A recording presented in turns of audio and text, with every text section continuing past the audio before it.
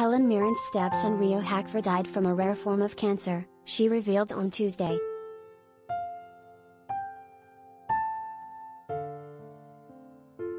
Rio died of uveal melanoma, a very aggressive and rare form of cancer, the actress and her husband, Taylor Hackford, shared in a joint statement to People.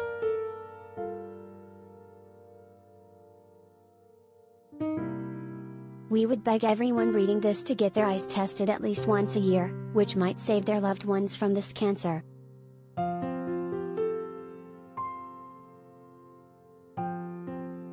The pair went on to say they were inspired by the life Rio lived and heartbroken by his loss.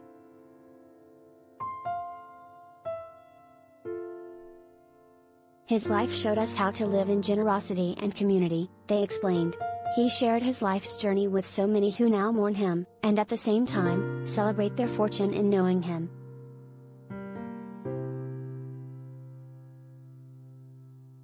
Mirren also paid tribute to Rio via Instagram, captioning her post, El Rio.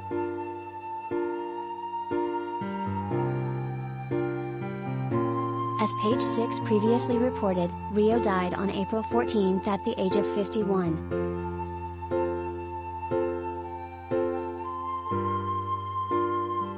He made his first on-screen appearance in Pretty Woman and went on to appear in Swingers, Raising Helen, Deja Vu, Fred Claus, Jonah Hex and True Detective.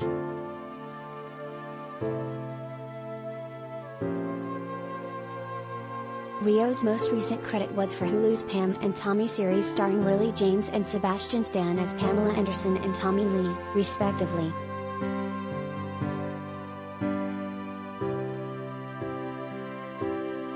Shortly after news of his death was confirmed, fans and friends alike paid tribute to their late pal on social media.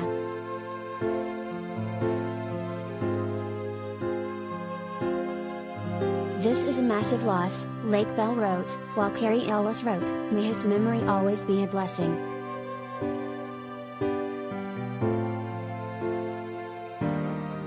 The Mentalist star Robin Tunney also weighed in, writing, I remember him exiting his old yellow cab in late 80s Chicago.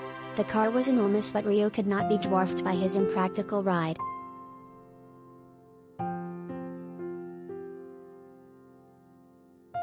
Tunney added, he was too nice to be that handsome. Too cool to be that relatable. My gosh that man was special. R.I.P. Rio.